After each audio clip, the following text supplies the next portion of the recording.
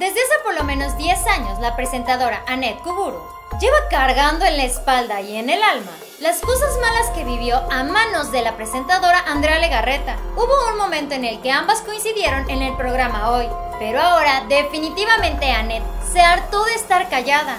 La ahora conductora de Venga la Alegría se decidió a contar absolutamente toda la verdad, asegurando que lo hace para que la gente se entere quién es en realidad Andrea Legarreta, a quien están llamando la nueva mala del cuento. Este es el Muro de la Fama y aquí te platicaremos de todos los detalles. No te puedes perder de este video. ¡Bienvenidos!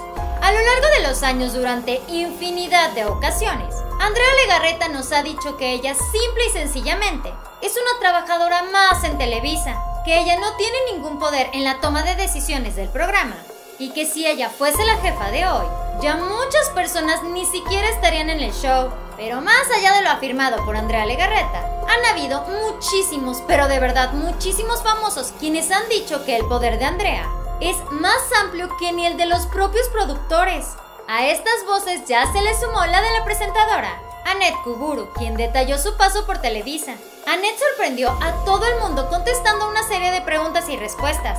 A través de su cuenta de Instagram, un usuario bastante atrevidón aprovechó para cuestionarla sobre cómo se había llevado con Andrea Legarreta cuando pasó por el matutino hoy.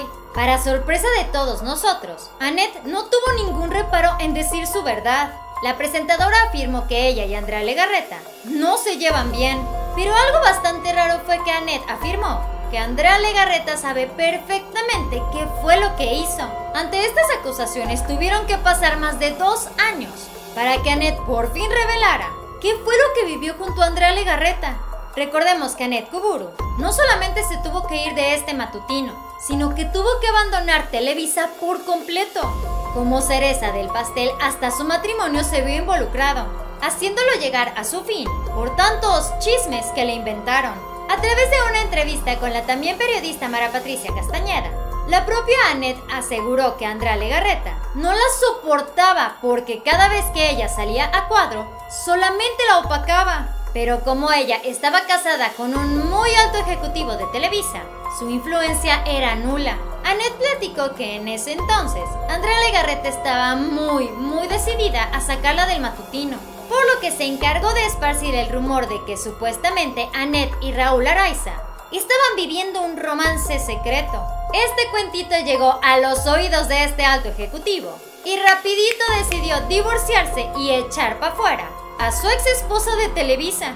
Andrea de Garreta por supuesto que estaba feliz y contenta de que su plan funcionara, por lo que volvió a tomar el mando en el matutino hoy. Annette, por su parte, contó que tuvo que distanciarse bastante de la empresa y sobre todo de la televisión mexicana en general, ella después tuvo la oportunidad de regresar a la televisión, pero con TV Azteca en el programa Venga la Alegría, lugar en donde ella aparece actualmente. Después de haber dado tremendas acusaciones, estamos bastante seguros que Annette Kuburu seguirá revelando el verdadero malestar que vivió al lado de Andrea Legarreta, la cual aseguran está bien acostumbrada a tirar la piedra y esconder la mano. Cualquiera que sea el desenlace entre ellas dos, lo cierto es que ya hay muchas personas que han asegurado que Andrea Legarreta es quien tiene el poder en el matutino hoy, y por más que lo niegue, ella sí o sí tiene el trono. Recordemos que hace poco, cuando lamentablemente se dio a conocer que la productora Magda Rodríguez había partido de este mundo, las especulaciones, ideas y teorías de que Andrea Legarreta sería la persona que se haría cargo del programa estaban en todas partes. A corto plazo se dio a conocer que sería la hermana de Magda Rodríguez, Andrea Rodríguez, la encargada del show, pero ella misma afirmó que esto no durará por mucho tiempo. Pero ya sabes que en estos videos a mí lo que más me interesa saber es tu opinión. Este fue el Muro de la Fama, no te vayas sin antes suscribirte a nuestro canal de YouTube dando clic aquí abajo. Al igual que seguirnos en nuestra página en Facebook. Para que no te pierdas de las últimas noticias, yo te recomiendo que veas este siguiente video. Espero que tengas un excelente día, nos vemos muy pronto. Bye.